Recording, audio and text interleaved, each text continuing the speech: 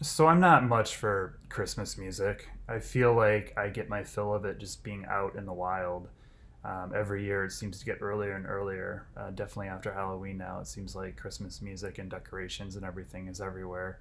And I, yeah, you're not. I'm not going to be the guy that's going to be able to run down like the top ten Christmas albums of all time. I just don't necessarily uh, look to Christmas music, but there are two albums that I reach for and really enjoy playing. One of them is a classic that, well, both of them are classics.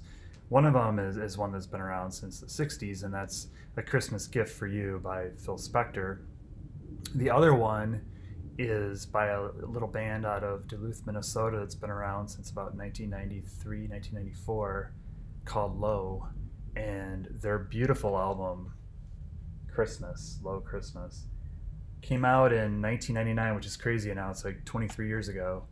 Um, it's they call it an EP, but for me, I, I, would consider it more of an album. It's eight songs. It's about 30 minutes long, four songs on each side. It's a mixture of, of um, classics, uh, Christmas songs that, that, everybody's heard before, like Blue Christmas and Silent Night, and they do a drone version, a really drony version of um, Little Drummer Boy, and you know some of the songs are, are more religious but it, it definitely i don't think would isolate anybody who who isn't religious or doesn't look to um, music uh, religious music around the holidays.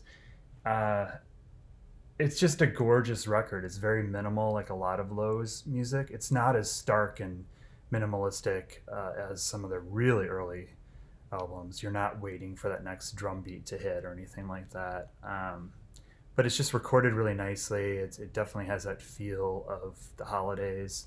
They've done other things too. Like there's a song on, oh, I think it's Trust called "The Last Snowstorm of the Year," which if you were making a, a mix CD or mix playlist, um, you could have this, put that on there. There's also a couple singles they've done. Um, some of them I have, I've yet to check out that are around Christmas too. They did a about a year ago or two years ago. They did a concert in, in um, Minneapolis that was just Christmas music, or probably 90 percent of it. I wasn't living there at the time. Um, I, I lived there for a long time, but i w- I've not been living there for a while, and I was was not able to catch that. But um, all of this, of course, um, Low's music around the holidays has added importance this year because Mimi Parker, the co-founder, co-vocalist, unique drummer for Low, passed away in November. Um, so you know an already very powerful album is is just gonna have just gonna feel that much more powerful when, when people play it over the holidays. If you have not checked it out definitely consider it. Low christmas. You can't really go wrong. If you're not really that into don't really even know who low are yet or haven't really gotten into low it, it's honestly probably a pretty good introduction too. If you like it um, it, it, could be a springboard into other records i definitely want to get into more low music I worked for the record label early on. I've been a fan since the beginning. Um, I followed them. I, they've have a very diverse catalog um, of music, and I definitely want to showcase that and get into it more. But but Low Christmas, you can't really go wrong. So uh, check it out. And the other thing to mention too is Low is is having a tribute to Mimi Parker called "A Very Mimi Christmas" in Duluth, Minnesota, at a church on uh, December twenty first and they're live streaming it. So most of us can't make it to Duluth, Minnesota to be there. I can't imagine. I can just cannot imagine how powerful that's going to be because it's not.